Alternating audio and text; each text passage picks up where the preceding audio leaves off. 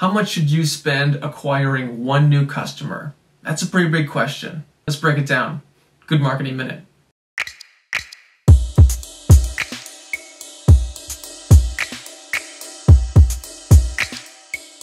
So if you watched the last video on customer acquisition costs, which you can find right here, you know that it's not really whether you have acquisition costs, it's whether you can measure it. A couple different ways of measuring it.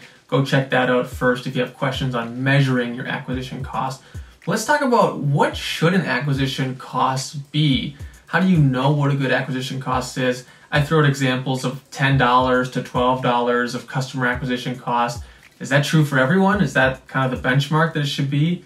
Well, obviously not. It's going to matter how much the product or service that you're selling costs a customer, how much margin you have in there, and how much repeat business or future business you might get out of that transaction. There's a whole litany of things that go into figuring out what is a reasonable acquisition cost for you specifically based on the product or service that you sell. And here's what that's often measured through. It's called your LTV or your CLV, your lifetime value or your customer lifetime value. So essentially what this is trying to measure is when you start interacting with a new customer, what can you reasonably assume that relationship will look like?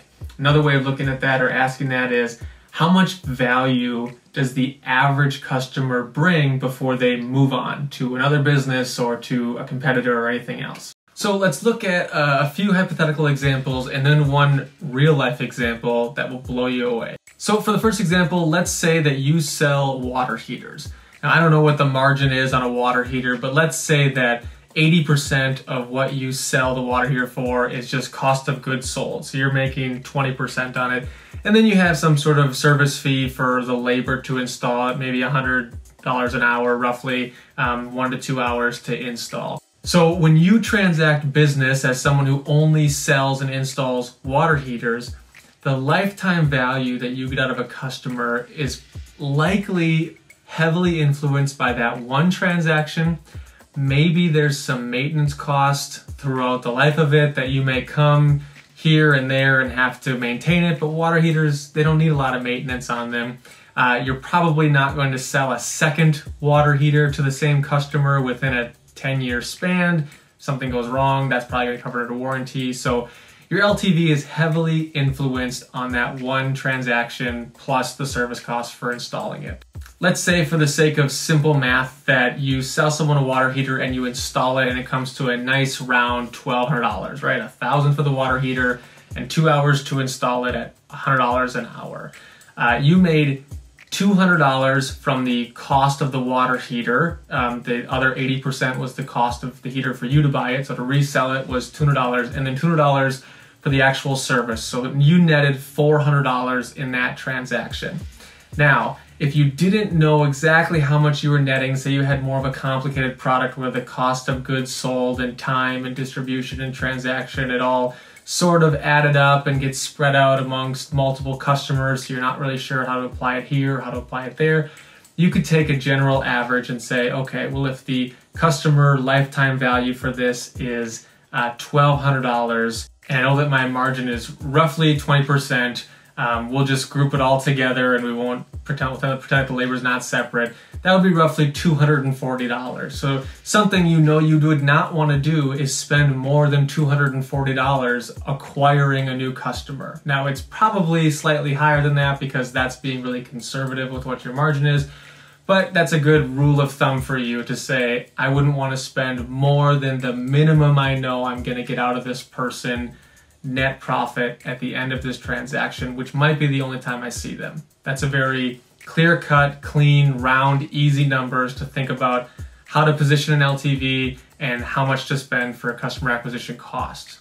All right, next I'll give you a hypothetical of how I would conservatively look at something like a coffee shop for determining an LTV, and then we'll actually take a look at what Starbucks positions their LTV at and how comfortable they are with acquisition costs. So if I was running a coffee shop or a restaurant or someone asked me to look at their coffee shop at the restaurant and figure out what is an LTV for the customers we have, there's two things I would do. One, most businesses now have some sort of payment processor that they have to use. So whether you use Stripe or whether you use Square, inside of that you have a database of real customers, real information. You know how to group them, how many transactions fit with one customer. This is a great sampling to begin to figure out what the LTV is for some of these customers. So what I would do is I would take five, maybe 10, maybe even 15 individual customers, identify them by name or by card number, and I would look to see over a period of time, let's say four months, how many time this how many times this person transacted business again and again and how much they spent in total over four months. I would do that 10, 15 times and you would get kind of a good smattering of here are 15 real customers chosen at random. Here's what these 15 customers did over four months. Then what you could do is take that same period of time, four months, take your total revenue, everything that you made in four months, and divide that by the number of customers you had over four months. This will give you a rougher average. It will sand down the edges, right? There's some people who came in, they just got water. There's other people who came in and they got $200 worth of food. Uh, neither one of those are good representations of what the average customer does, but they all sort of balance each other out. You'll get some sort of average in the middle of this is roughly how much a customer spent in this four months. You can then take that four months, you can times that by three to give you a representation of what the year could look like, knowing that's gonna fluctuate up or down. From there, it can get as complicated as you want. You can do cohort analysis based on the types of users and groups that they're in. Uh, you can factor in your gross margin and how much you're actually netting on all those transactions. Uh, you can even figure out your churn rate and how many you know repeat business you have and when people tend to fall off, and use that as a predictive model to get a more accurate representation. All of that is more complicated than you need to just begin. To just begin, you just need a good idea of how much could I reasonably spend. So if you had $8,000 that came in in revenue over four months, in that same four month period, you had 250 customers that came in, that would give you a rough beginning picture of your LTV at about $32 a customer within that window. So you could take that, times it by three to give you the rest of the year. So over 12 months, that roughly comes to about $96 that a customer may spend repeating business with you. Now, is a customer only going to stay your customer for one year?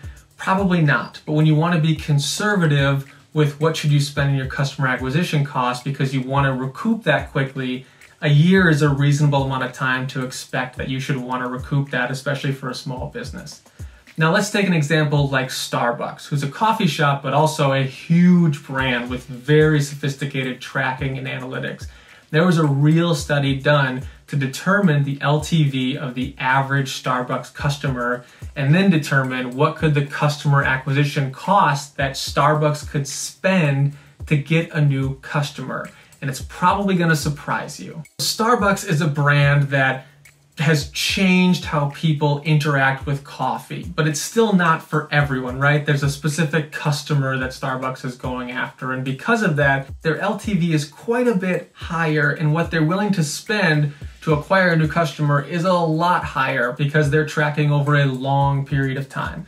So they found that in a week, the average Starbucks customer spends about $5.90, nearly $6, and they usually do that four to four and a half times per week. So the average customer value per week is 24 to $25 per customer. And what they're able to find through all their sophisticated tracking and data analysis is that the average Starbucks customer stays with the brand for 20 years with a retention rate of 75% and a profit margin per customer of 21.3%.